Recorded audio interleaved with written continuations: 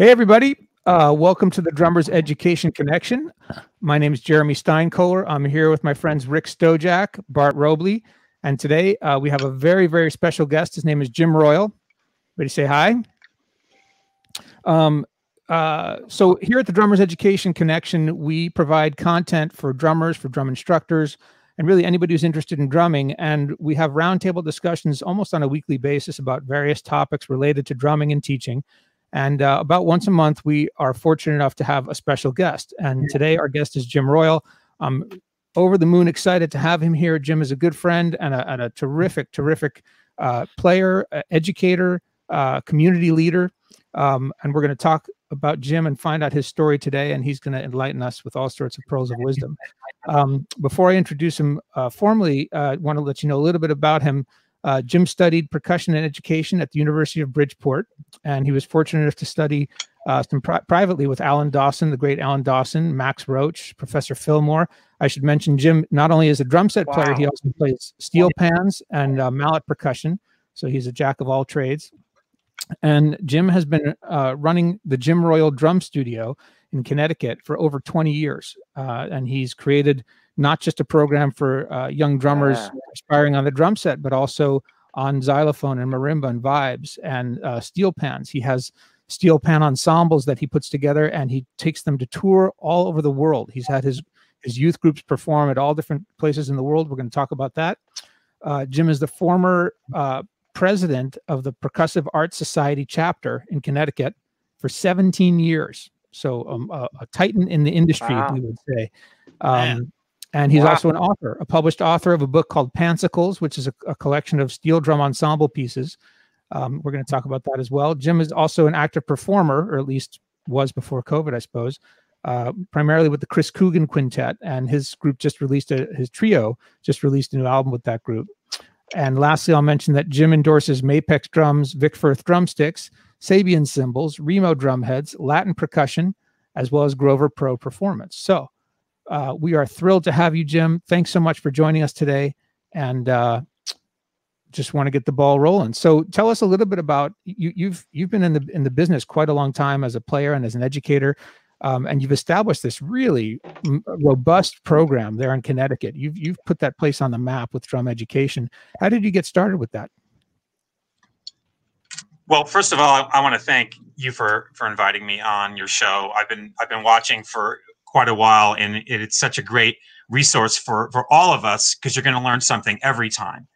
Um, and being able to jump in and, and make a little comment uh, to, to, to get to get involved makes you feel great. And, and again, I want to thank all of you for for having me today. Um, I want to I want to fix one thing um, that uh, was in the bio is actually uh, I've been teaching privately for 35 years, wow. and I've owned the studio now when I opened it on my own for 30 years. So so that's wow. an update we need to fix in the bio. But um so it's yes, 30 it's 31 years as of this year.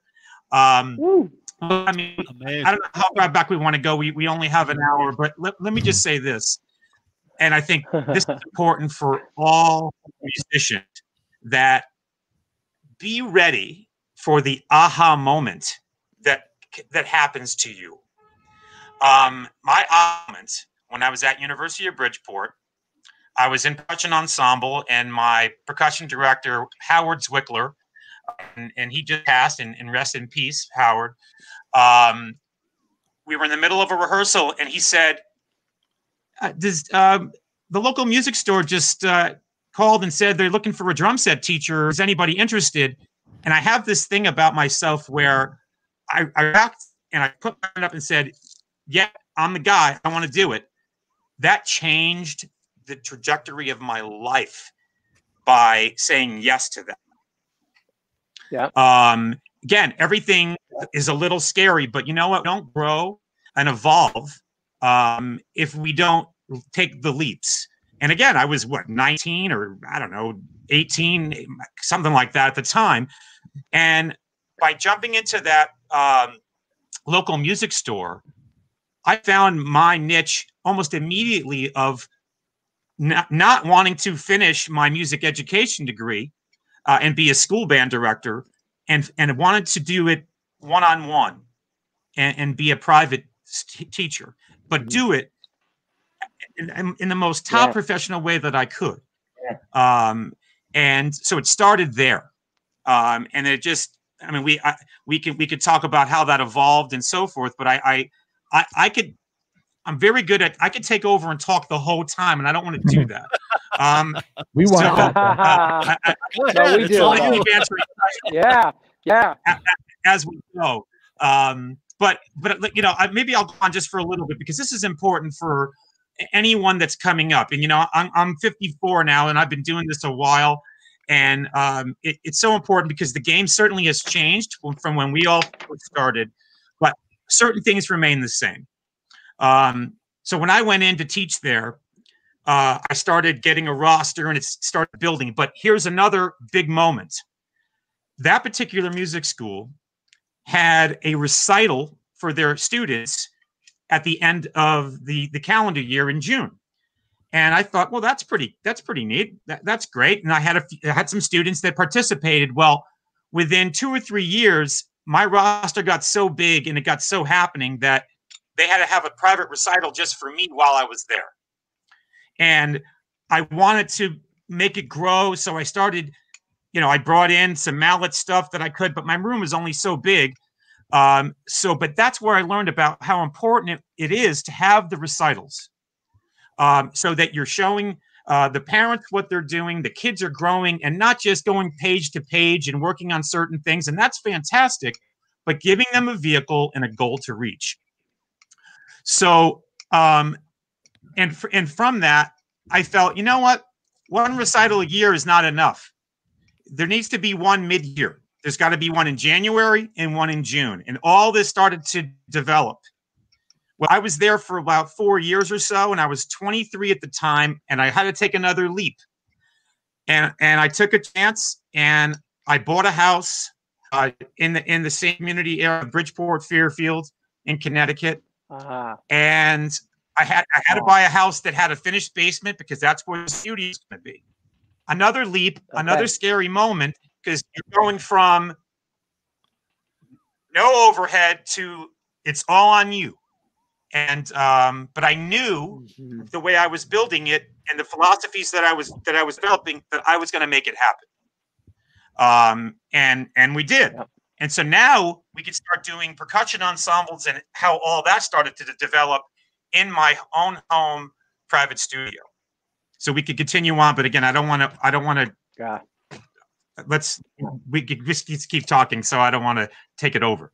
No, this is great stuff. Great stuff, Jim. I really, uh, yes. I, I love being open to the aha moments that end up changing your trajectory or shaping your path that at the time you don't necessarily know what those look like until you're able to look back on them a little bit but you know just saying yes and then figuring it out you know that's that's great advice bart do you have any anything you want to check in with jim about well i i want to say this first of all jim thank you so much for being a part of this. This is amazing and and giving your you know giving your your credentials and everything. It just it's a great honor to have you here on the deck with us.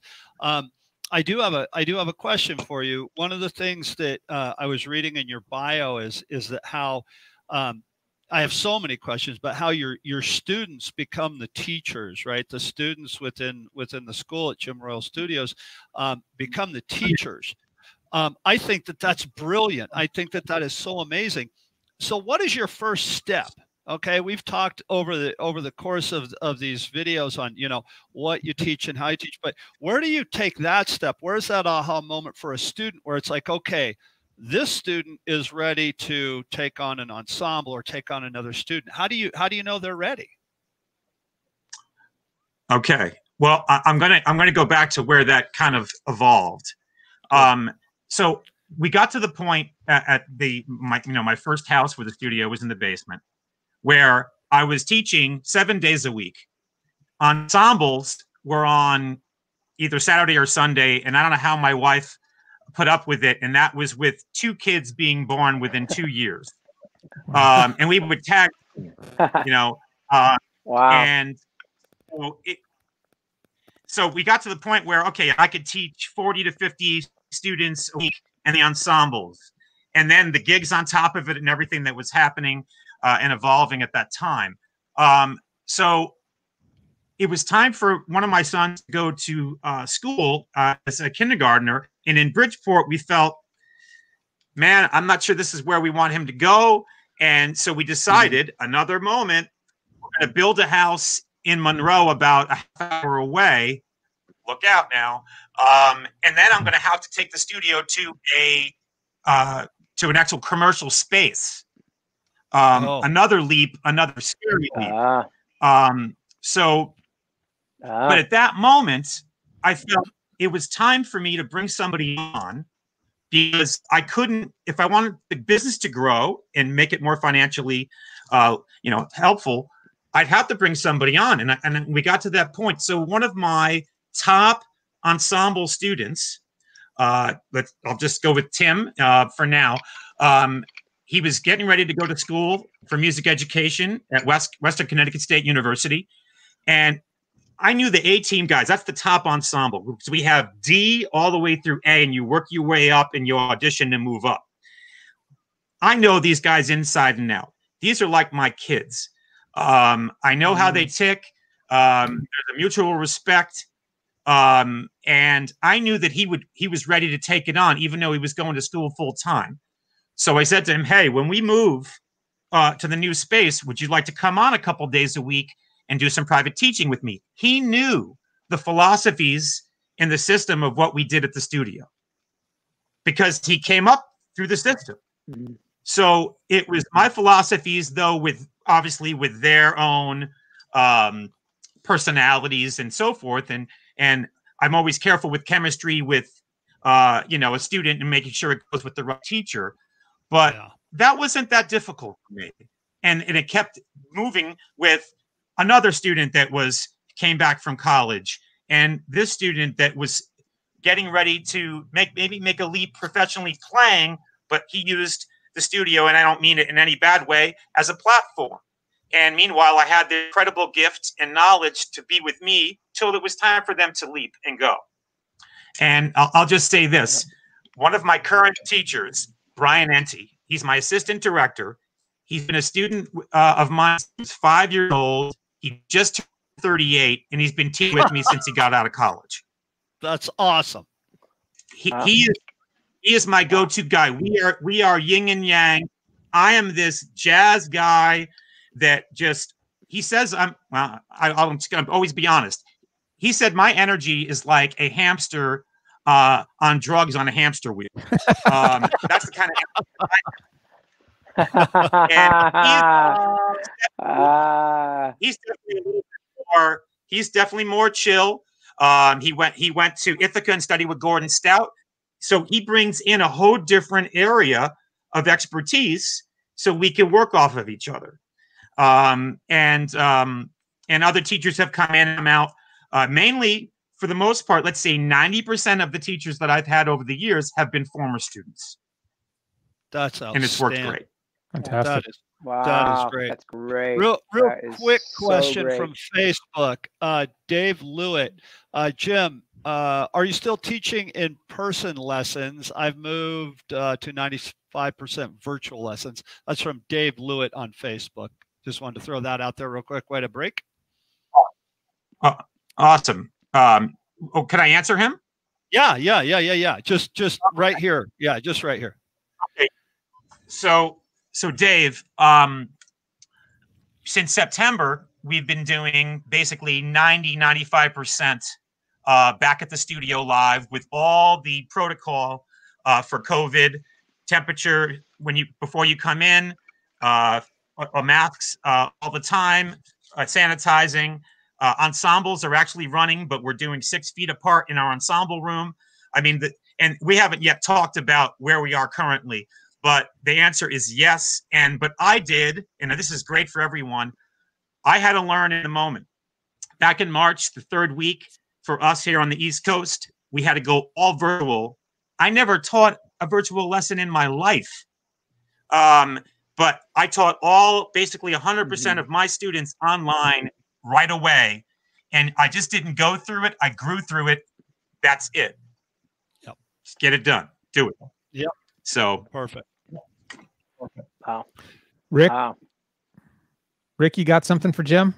Hey, hey, Jim. So now at this, yeah, yeah. So, uh, hey, a quick shout out to Chip Ritter. We want to. We're looking forward to having Chip return um, in a in a future episode. So we wanted to say him and and Jim. Thanks for for joining us. You know, and I'm a I'm a Connecticut drummer as well. So any Connecticut drummer is a, a brother, man. So I I wish I I had met you back back in the day. I was was in Middletown and so um so now your studio is is in Monroe now. Is that that what you said? No, no. The no the studio. Um, so we we I sold the house in Bridgeport, moved to Monroe, but I wanted to keep my base because in Fairfield okay. County and in Fairfield area, it's a huge student base for us.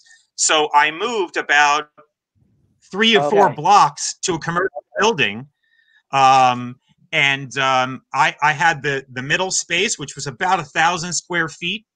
Um, and at the time, there was just a back room that was going to be my space, and I had to develop the rest of the space. And we we built two more mm-hmm. teaching rooms. And this is where the next aha moment came in. The gentleman who owned this building, and it's it's a one level street level uh, building. There were three other spaces the space next door to me was a Chinese ballet dance studio.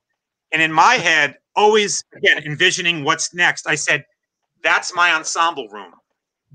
And I said to the owner, I said, When you want uh-huh. out, I want in, I want a building.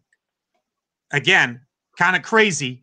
I don't know. Yeah. You know, sometimes you're like, What are you actually doing? But I knew I could make it work. So on top of so I bought the building. Mm-hmm. Um, in like 1998, and um, and then I have the two end spaces. One's a, a food a takeout, and then the other spot is a, is a barber shop, and that's a that's a stream of income that helps maintain and take care of business with the building as well. Um, so I'm ah. also a landlord. Um, ah, okay. So, but again, good for you. That was another that's big clever. leap. Yeah. Once, once we came in. Yeah. But it can be done and again, I didn't go to business. I didn't go to business school, um, but I, I, had mentors um, that helped and and, and uh, just guided me through different things. So don't be afraid to reach out to people um, that are that are good friends or ju- or just other people that you know are developed in those areas uh, to help you. Never never be afraid to ask for help. Yeah. Ever. Right. Right. Uh, it, it's, it's so so important. That's that's right. That's right. Yeah. Well, that's that's yeah, a Bart? great that's a great commitment, um, Jim. That that you made. Um, I'd imagine it took a little while to start making the profit. I mean, because that's a huge investment. Um, I've I've kind of noticed it. You know, we have to, you know, if you're starting a teaching business, you have to have a little bit of savings and and and prep yourself a little bit because it's it's not going to be big bucks streaming in right away. Did it did it take a while to start turning a profit? Um, I, I never felt that. I never felt that. Um, because we That's brought great. everybody from what was happening wow. at the studio, and at that point, I knew then we could start adding a lot more students because I was at my max. Um, so eh, you know, and again, wow. we're call it, we'll call it the teaching game of today. If you go back ten or twenty years, it's not the same. Oh. It's not the same as it was. Right. And um, mm-hmm. at one point, I think we had four or five of us teaching at the same time. And um, wow. And again, things have changed a bit, but we're we you know we're still we're still rolling along, if you will. Pardon the pun. Uh, things things are still happening. Uh, there's three of us that are teaching, um, but you have to evolve with what's going on. Um, and um, we were just having a conversation with someone the other day about years ago we'd always be it's so much it's like what 90% word of mouth and your reputation right. well yeah. people don't talk to any people don't talk to people mm-hmm. anymore you know they're so busy on their cell phone they're not talking to anybody yeah. so right. you're still going to have community yeah. outreach and people that will recognize you but you have to use technology now also uh, you know whether it's instagram facebook whatever putting you know putting ads up groupon whatever it is to to just dabble a little bit to, to you just can't um, you can't get complacent. That's what I'm saying. You can't. Um, mm-hmm. Mm-hmm. So right. uh, it's so important. It, it's so important today. Jim, you meant you mentioned the word community there, yeah. and I, I want to talk about that for a minute. Um, I, I want to say uh, just a little backstory. I met Jim at a Percussive Art Society conference a couple of years ago, and we were standing at a at a table. I think it was for some practice pads, and we just started talking. And it turns out, of course, we're both drummers. We're both drum teachers. We both run uh, large teaching programs that are bigger than just private lessons. And I handed him a copy of my book. He called me up a couple months later, said, "Oh my God, I loved your book. I want to do a, a, a PASIC presentation with you." And we started talking about what what we could offer that would be of value. And I just I, so much of what you're talking about just resonates so big for me. Uh, it all makes perfect sense. And one of the things I wanted to point about point out was about you haven't just created a lesson program; you've created a culture You've created a community built around a certain kind of culture and certain values about, you know, working together and teaching and playing and working up through the ranks and paying your dues. And um, when you started this program, you know, with the with the ensembles twice a week in your in your basement, did you have any notion that this is what you were doing? Were you thinking about it like, oh, I'm gonna I'm going to create this this program, and you, you, were dreaming big, or it was sort of like it just kind of kept growing on its own, and you took the challenges as they came. Um, I, would say it's a little of all of that. Mm-hmm. Um, I was always dreaming big, and for me, it was another vision that I had. I wanted to take to fruition. Um, and sometimes they seemed a little crazy, uh, whether it was through the studio um, or even home you know, playing. Um, I mean, way back to 25 years ago, I mean, I, I'm a small group jazz and big band drummer per se, and I'm like, you know what? I'm, you know, I love big bands drumming so much. I want to start my own big band, and I did, and and it was the Jim Royle All Star Big Band, and I, a library that colleges would dream of, of of charts. I mean, it, whatever it was that I said I wanted to do, either you can decide to do it or you could regret the fact that you never tried it. And and I and I and I voice that to my students all the time. Um, you don't want to have regrets, especially when you're younger. Um, to try certain things, that's the time to do it. Uh, and uh, so I, I, I completely agree uh, with what you said. It's a little of all of all of that for sure. That's beautiful, man. That uh, you're, you're you're you're such a, a, role model for so many of us. You know, just pursuing your dreams, saying yes, taking chances, and uh, building. You know, you you've put a really substantial program together, and you've got a really thriving community there. So kudos to you. Really, really cool yeah, to see. Bart, you had something? Oh yeah, I got I got a question. Um, I again looking through your bio and just listening to your talk and, and your passion for this is I think that that's something that is so infectious to everybody, right? I mean, you have to. I think as a teacher, you have to have that. People have to pick up on that that that infectious and how much you love it. Years ago, uh, I had the great opportunity to study with Robert Slack and uh, Matt Johnson at, at, Fullerton College here in California. And Matt is the first chair percussionist for the Pacific Symphony.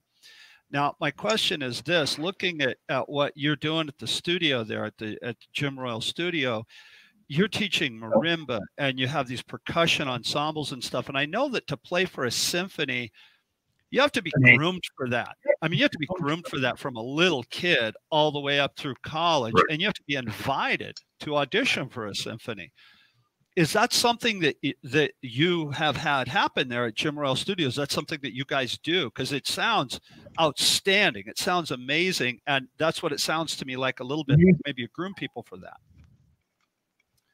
It, it's, it's it's it's exactly what we do. Um, everywhere from someone someone going to school um, that was say on our A team, right, and they're playing college level material, uh, whether it's percussion ensemble or steel pan stuff. So wherever they go, you know, the teachers are always like, "Can you send me more of that kid?" You know, um, so uh, we, we just thrive on that.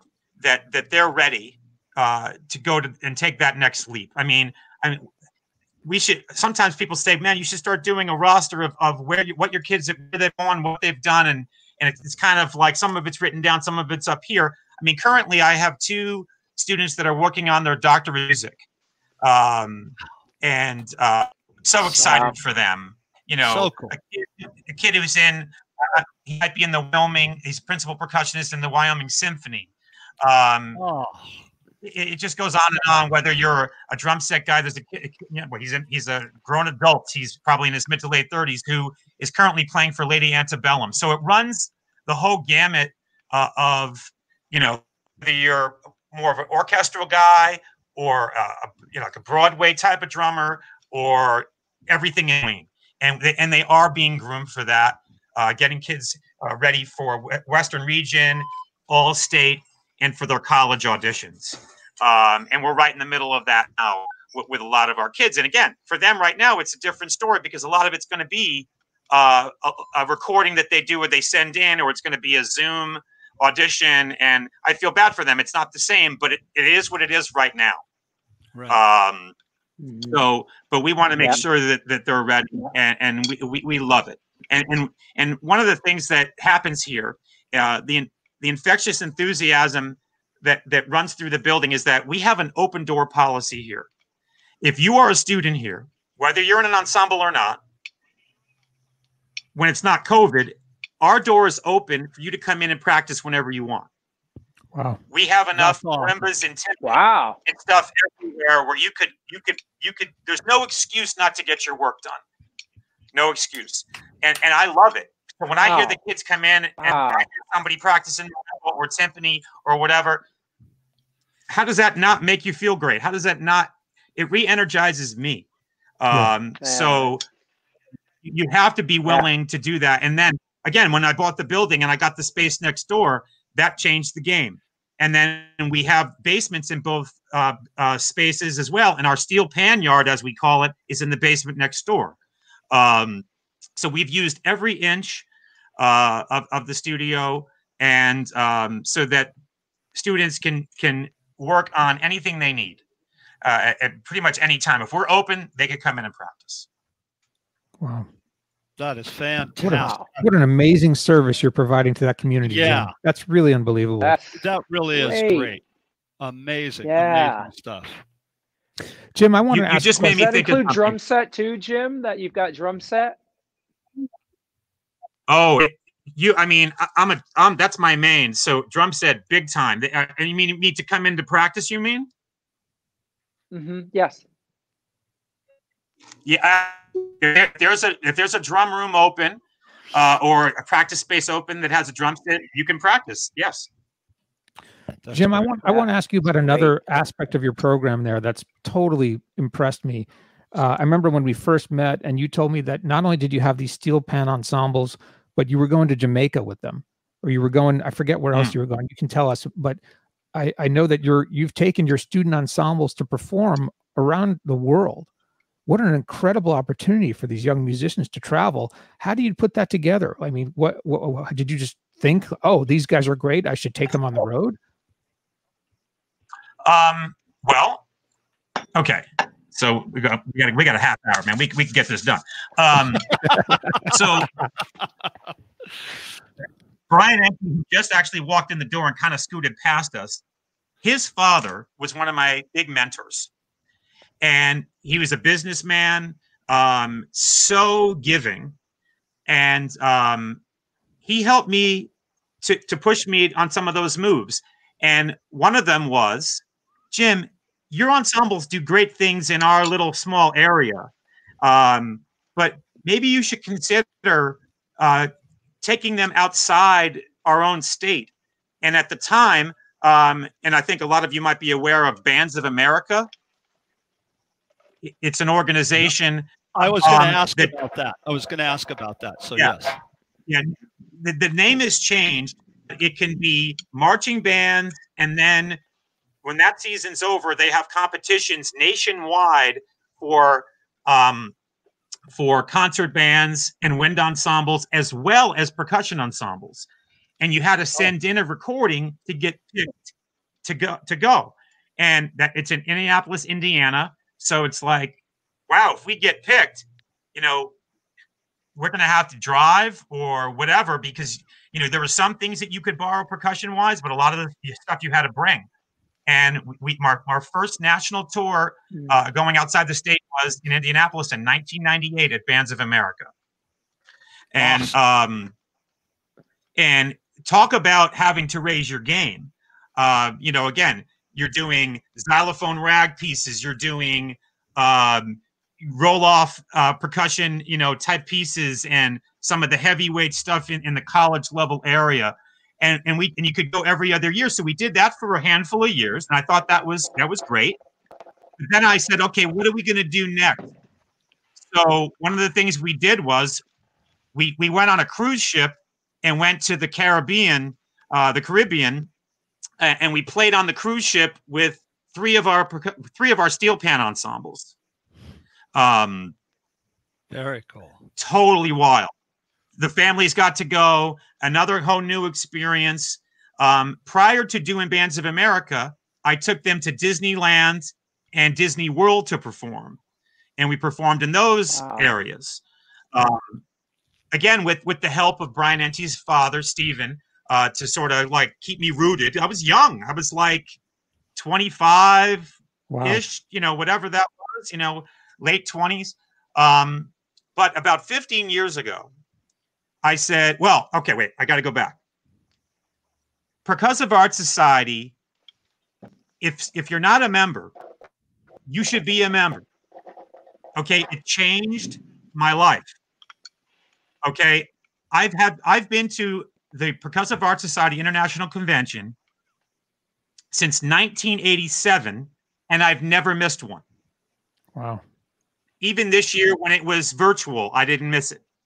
Yeah. Um, so going to the convention, I saw a whole new world of college ensembles performing, high school ensembles performing, um, seeing my first steel band, a mass steel band on the stage. That's when I said, I want to do that. I want to do that with our kids. Uh-huh. So I bought our set steel band yeah. hands and we got started. And that evolved into that being a big part of who we are. The kids absolutely love it. And if any student is a little bit leery about playing mallets, because sometimes that could be a little bit scary, yeah, playing steel pan as they do in Trinidad, a lot of times you learn by rote, by ear, but obviously we're training for the reading part. They build more confidence on the steel pan, which then goes into what's happening on the mallets and it helps to balance and build the confidence. It's the gateway um, instrument. So that's outstanding. It, it really is. It, it was a game changer. We'll never look back. It's always going to be forward with that. So, um, so, so with that, we decided. Oh, so I'm at a chapter president's meeting, and I was chapter president for 17 years, and I loved every second of it. Okay, it was a volunteer position, but to me, it was like another job. I wanted to bring great stuff to Connecticut.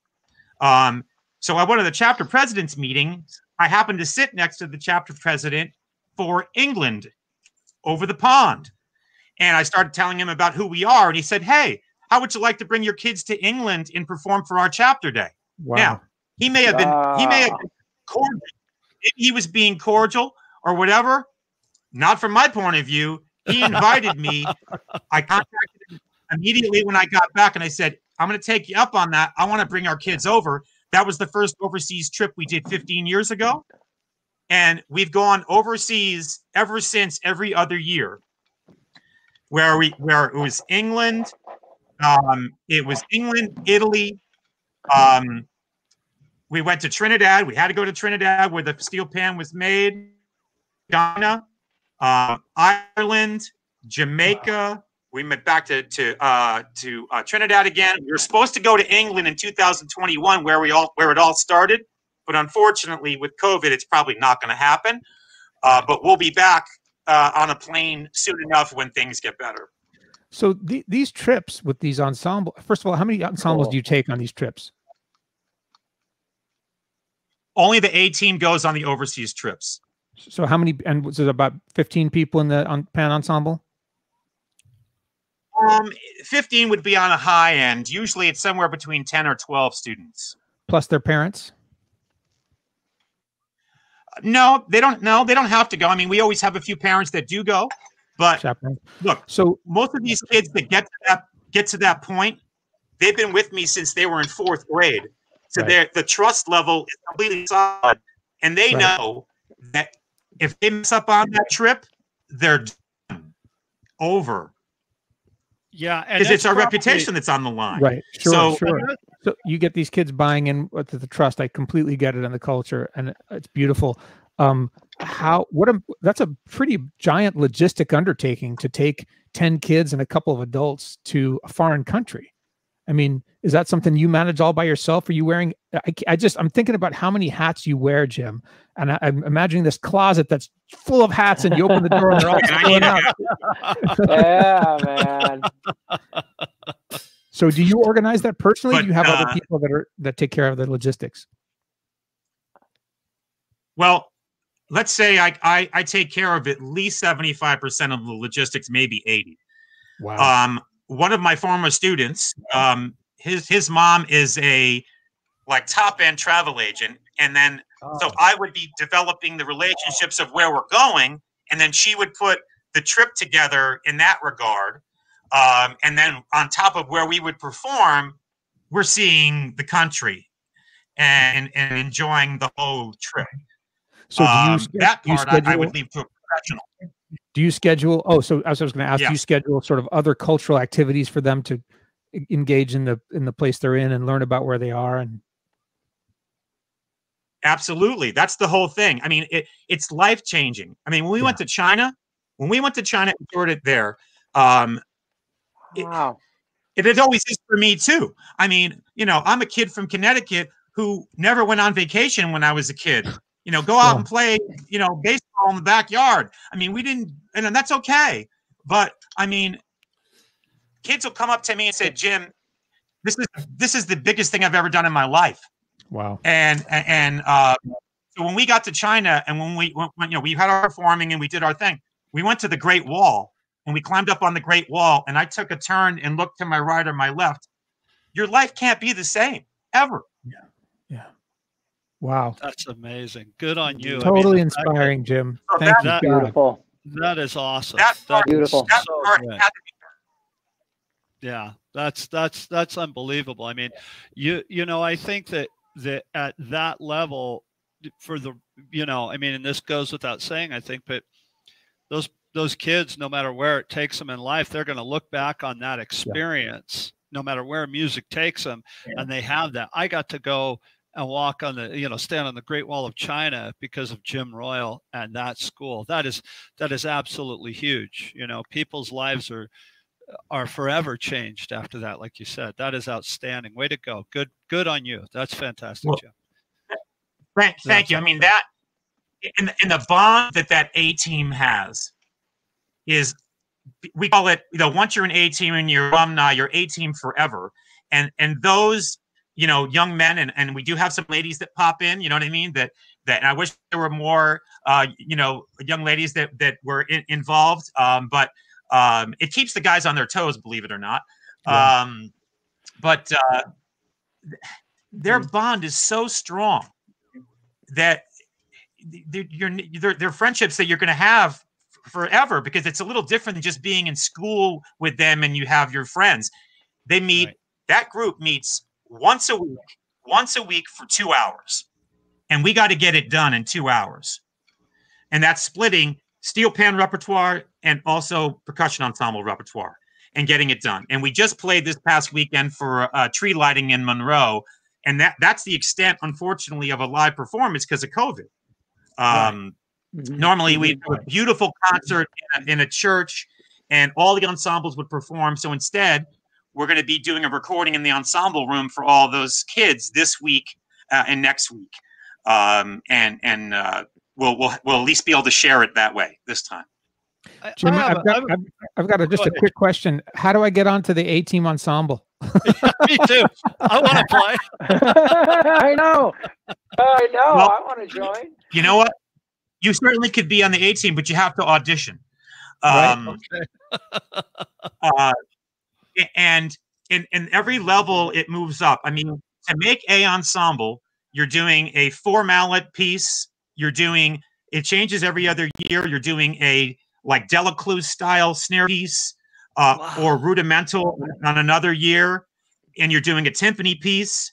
There's scales, there's rudiments, and you've got to score a certain level. And I always tell this story um, that my son Ryan played percussion uh, all the way through high school, and he went to college at UConn and studied for two years uh, as a music major.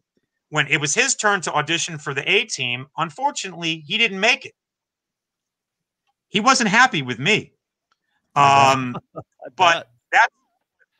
but that's the example to the, to my students is that we don't give away anything. You got to earn it. Yeah. That's it. Yeah. Yeah. And that was the year we were going to tour in Italy. So so Oh. unfortunately, he wasn't thinking enough Oh, hard enough. Um, but but unfortunately for him, our kids couldn't go. So I said to him, "Look, I have an early Christmas present for you. Mm. If you promise me that you'll get the work done, and uh, you could you could go and perform this on the trip, but that you're still going to be in the B ensemble when we get back, and you got to audition for A ensemble again next year. No messing around. I love that story, Jim. You did It's it. perfect. Jim. Yeah, Bart, you got a question? Yeah, Jim, that's that's incredible. Do you find, you know, sometimes in in the music business or uh, you know whatever it is, it's it's like anything else in life. Sometimes you know the competition or the pressure will crush you. You know, and I I've seen it happen a lot. You know, as we all have. Do you find that your A team? uh, I'm sure it's inspirational to the to the to the B team and the C team, but do you find that the A team wants to help the the B team and the and and the C team come up to their level? Do they do they like, hey guys, come on, let's get in and get this done? Do they want to help? Is that something? Is that is it like a great friendly competition where they they work with one another? Do you find that? Uh, absolutely. There's there's inner studio um, help all the time, and, and and they inspire each other. Um, because I always remind them that you were the C team guy, you were in the D ensemble, and you had to move up. So you got to remember where you came from, Right. and without question, they inspire each other and help each other all the time. Awesome. Absolutely. Love that. Yeah. Again, again, the culture that came from you and comes from your values and that you're instilling in these young kids. It's just a beautiful thing. It really is. It's it's it's a matter of fact. There's a couple of comments on on Facebook right now.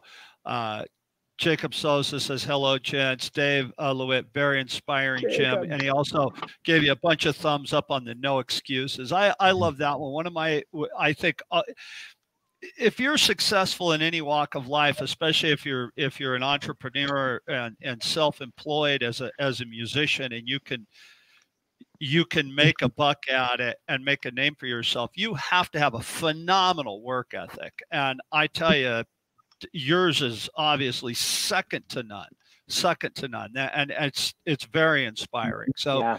so Yeah. thank you for that, Jim. Very very very inspiring. Thank you for that. That's great. You, Hey, you're, Jim, you're are you doing to welcome. decompress?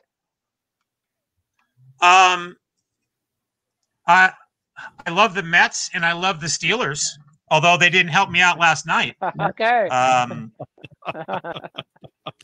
I grew up a Hey, Mets fan myself. and, um, in, in, in, in the spring and, and summer, uh, I, I, I guess for me when I was a kid, it was baseball and drumming, and so I still play competitive softball today. yeah. Me too. Uh, yeah, yeah, I love it. Oh, cool. Twice uh, a play week. third base, the hot, third base, the hot corner. Oh, Jim, when you come out to California, Um, you're going to come wife- on when we have a game, and you're going to you're going to be a guest on my team. That's Sure. awesome. Ah, there you go. That's so cool. That's fantastic. Uh, Check Hey, this out. Jim- This, this is this brings everything. Go ahead. As as uh, I was reading again on your bio, you said you were the you were the president of your chapter of the Percussive Art Society in Connecticut, and it says what it said for for 13 years. Is that what you said? Seventeen. 17 okay so my bad 17 what does that what does that entail what does that job entail like you said i know it's voluntarily uh, done and you, but you took it as a like a real job you treated it like such as as i can tell What does that entail? Right. What what was the what's the gig entail? What do you do? Well, your your one of your main goals is that you're going to be putting on one huge day of percussion um a year like the big percussive art society convention and on a smaller scale. That is the big thing that you would do. And if you could do some community events in and, in and around that throughout the year uh, that's great too. Um, and, and whatever we, we can re- uh, reach um, community reach we could do. But that chapter day um, it could be what you want it to be. I mean my thing was that i always wanted to get people in that we normally wouldn't be able to see now being in connecticut i could pull from new york city i could pull from boston um, and um, one of the years, um, I would put feelers out. And one of the years, I put a feeler out to Steve Smith and Gregg Bissonette. Who are And they? they both Who are those guys? they both said yes. So I had them That's both come anyway. Wow. And I wasn't sure about how the finances were going to work. Um, but well, of course I knew because I, I, I mean, I couldn't do it if I didn't have the finances, but, um, it, it was an incredible success. Um, but here's, the- here's the thing. When I first came on as chapter president, I was given a check for 300 and something dollars to start our chapter over because it was kind of, uh, it was kind of, um, hiatus a long time. What are you doing with $300? That's not enough for postage to try to like put some mailers out. Right. Um, Yeah. So my first year, uh, I got help. I had my, my, my teacher in college, Arthur Lip- Lipner, and I had actually um, great drummer. I, and if I, I think I have this right, Jerry Morales, who played in Spyro Gyra. Um, You know, came out, and I just started to get the ball rolling and started to build funds. Uh, and I would I would really work the industry and, and make sure that they would help. Um, and and that's been so such a big help to me over the years in in many ways. Um, to the point where I don't know, in the middle of being chapter president, we had Mike Portnoy for one of our days of percussion um, when Dream Theater was big Right. and people were lined out the door to see Mike Portnoy. And that took our account from where it was and, and just blew it up. Uh, and I just wanted to keep bringing, whether it was Uh-huh. Leigh Howard Stevens on mallets, whether it was, oh, we had um, uh, great um, Brazilian percussionist uh, who played in Return of Forever. Um, Airto? Yes. I, I I didn't I, I I never felt like I'm gonna hold back. I'm like, I'm gonna find out where he is. I'm gonna call him, I'm gonna contact, and he and he showed up. I mean, he was playing at, at Radio City or something that night, but I said, you know what? We'll come pick you up and we'll bring you back, but we want you to be there. And he said yes. Wow. That's so. He brought all his suitcases of toys Wow. and he and he turned that that particular clinic into just it, it was we were all in his world it was amazing that's what i wanted to do i wanted to bring something that wasn't normal to the That's outstanding. On Facebook, we got a comment from uh, Kelly Ray Tubbs. Uh, she's been watching us for the last couple of weeks. Uh, she said she saw Louie Bellson and Ed Shaughnessy on Chapter Day events. Amazing. Um, was that? Uh, I don't know if that was one of yours, but did you have was was that one of yours, Jim? No no it wasn't because i mean ed Oh. shaughnessy was probably living in la uh, at the time and i did see him at pasic but no uh, louie bellson i also saw at pasic over the years but we we didn't have him um, for, for a day of percussion no. But that's great Oh yeah, yeah. Louie Louie's name comes up a lot, man. What a what a! I got I got to see him play a couple times. I got to meet him a few times. Real sweetheart of a guy. That's that's that's cool. So his name pops up every once in a while. Rick, you have a question, buddy. I I, I stepped on you. I'm sorry. What were you going to say? Hey, hey, Jim, I'm wondering if you um host clinics at this point at, at your studio, and if you um are in retail as well. Okay. Um, we, we are in retail and, and that, that is a part that's very helpful Huh? to our parents. Um, but this is something that I always share that I know it's an old saying, don't forget where your, where your bread's buttered. And I know that my bread is buttered with the lessons. Mm-hmm. So I right. never was going to let the sales part pull me underneath. Never. Mm-hmm. Because it can happen. Oh, you got to have all these drum sets and you got to have this and you got to have that. That could ruin you. So I mm-hmm. always made sure right. I was very careful about that. Um, so, um, you know, mm-hmm. as an endorser for those mm-hmm. different companies, that certainly helps us in getting all the basics of sticks and drum heads. And I could basically get whatever they need, but it's definitely more of a convenience and, and not trying to be uh, like Drummers okay. World in New York City years ago. That that that's over the top. That's too much. Mm-hmm. Right. And what, what was the other question? Yeah. Um, Rick, do you host clinics also? Oh, um, on occasion, uh, we, we do have some people in, and I would I would kind of use when they were coming for a day of percussion, they would come in uh, uh, the the night before, and they would either do some private teaching for kids that wanted a lesson with that particular artist. And we had Tony Royster Jr. when he was still a young kid come in and do lessons that night. Um, wow. But the thing that's tough is we are so busy here with all our lessons and our ensembles every week. It's challenging to do and I, I do think about that from time to time, and we have the space next door to do that. But sometimes we're just so just involved in with what we're doing that it, it that kind of gets unfortunately put to the wayside. But I I I don't want to rule that out. That's that's a great idea. Mm-hmm. How many people do you have teaching there now, Jim? How many people are at the at at the studio now teaching? How many teachers? There, currently, there are three of us teaching, okay. um, which which is covering mm-hmm. um, you know, our our student body, and then uh, Brian Enty is my assistant director for. He teaches two ensembles. I teach two ensembles, and then we have our adult community steel band, which is called Silver Steel, which is mm-hmm. about sixteen or seventeen pieces. It's like a big band, um, wow. and and they rehearse on Monday nights, and that was supposed to be just a cute little thing that parents wanted to be a part of because their students were in a steel band well, that's turned into like not last summer, but other summers, they could do 35, 40 gigs in a summer. Wow. Yeah. Fantastic. Yeah. I mean, never expected Whoa. it to be that. I mean, I had to buy, I had to purchase an equipment truck. I mean, I, I bought an old U-Haul truck that was in good shape. I put signage all over it because I just needed quality of life for all the instruments and everything, and it works great for recitals when we got to put the mallet instruments up and everything. So different moves that you have to make and commit back to your studio if you're going to do it privately. If you want to make those next steps, and I always wanted to make the next steps. So look, they are legitimate write-offs for you on your taxes. Um, right.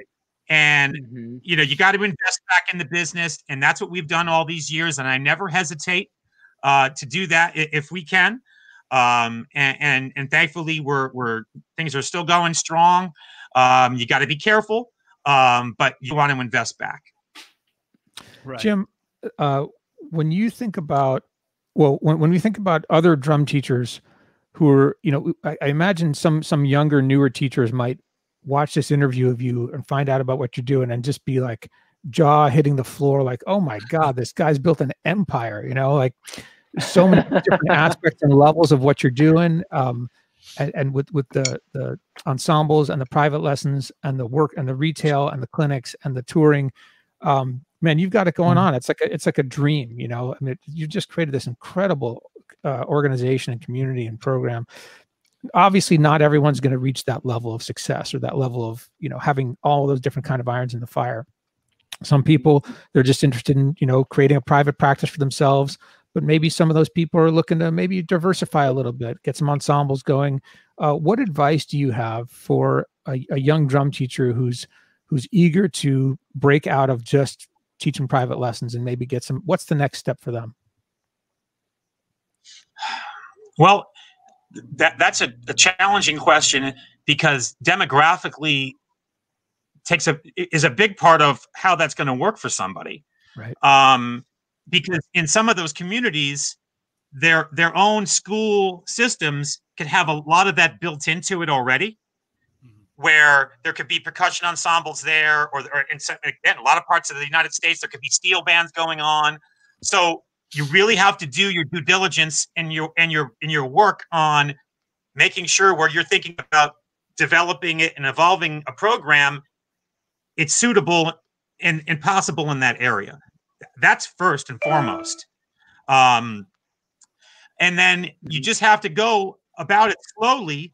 Um, and if you want to start building an ensemble, I mean, just the way I did it, I didn't buy all these instruments in one shot.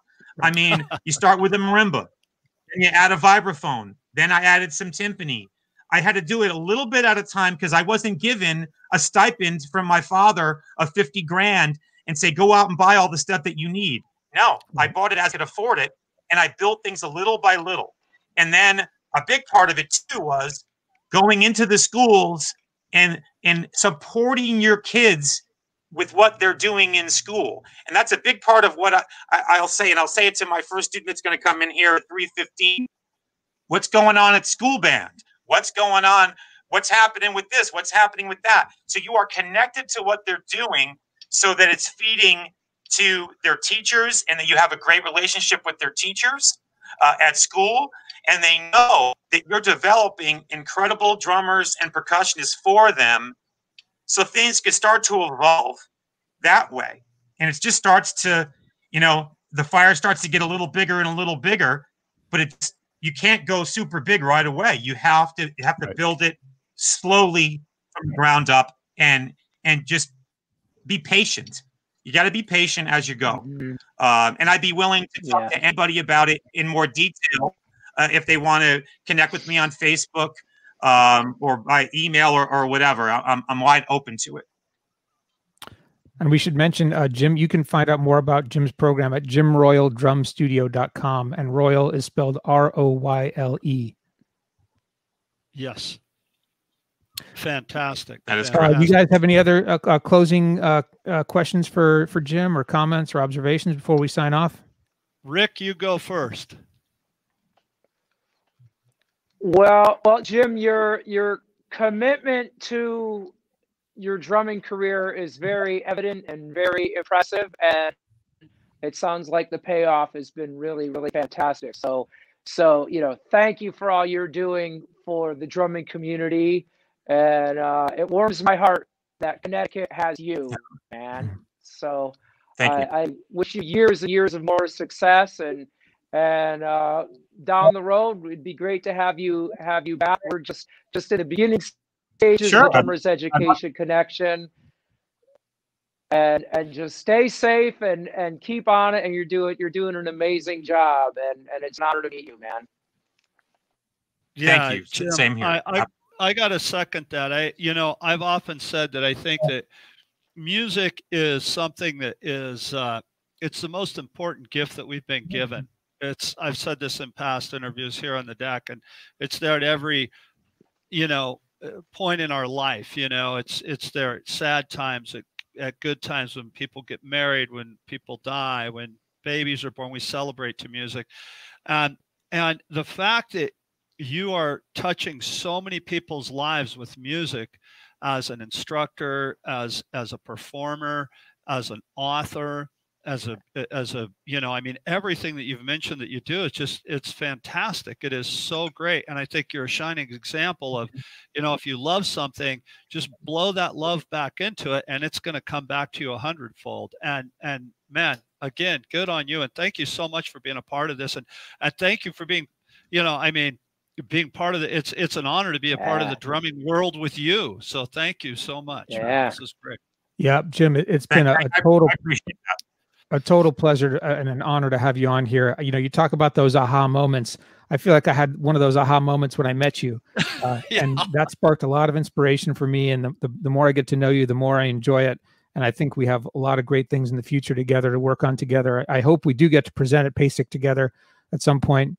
Um, and uh, man, just keep on doing what you're doing. You're an inspiration to us, and you're an inspiration to your students, and uh, anybody who would care to, to know about what you're doing is is uh, it's a a privilege. Thank you. Well, I, uh, Jeremy, I, I appreciate that. And um, I felt the same way when we were at PASIC. And um, you know right away when you have chemistry with someone. Yeah. Uh, and we we talked for about ten minutes or so, and I knew that day there was something special there between us. Um, and then once I read your book, I felt like I was reading a book that I wrote um, about about about so many things that happened in my career, and it like blew me away. I- I'm still in awe, and I'm going to read it again and again. I mean, there is so much in that book, Jeremy. That was so well written. That was Oh. so well written. Um, I Yeah. can't say enough about your book. Well, Jim, Yeah. And, and Thank you know you. what? I, I don't, I don't, I don't need to. You know what? We don't need to blow smoke up. You know, you know what? I mean, I'm being honest. That is a fabulous book, well, and uh, I, I, I want people to, to read it. And I, w- I was going to take it with me today. Thank you for grabbing that. Yes, please. Finding the groove. You can find it on Amazon. You're going to connect with something in there, and it's going to inspire you to want to to reach to something else or to something you have that you weren't doing uh, already. And it's just fabulous. So it's an honor for me to be here with you guys today. And let's not say, uh, you know, that you know we're gonna we, well we're gonna do it again at some other point. We can get into more detail. We we scratched the surface today, and, and you know at some point let's do another one, and uh, we'll share some more and and get more people excited about private teaching and not to be scared to do it because you can do it. It can happen. Well, Jim, you're a shining example for the entire drumming community. Thank you, and thank you for your kind words of praise coming from you. That means so so much to me. And uh, and uh, again, an honor to have you. And uh, if you have any questions, you can still post them in the Facebook chat or on YouTube. Uh, we can answer them after the fact, even if you're watching this on a recording. Um, and tune back in next week. Uh, I forget what we have going on exactly next week, but it's going to be something cool, that's for sure. Um, to Drummers Education Awesome. Connection. Thanks, everybody. Thanks to Jim Royle, our special guest. Thanks to Bart and Rick. And uh, we'll see Chip Ritter back here next week, hopefully.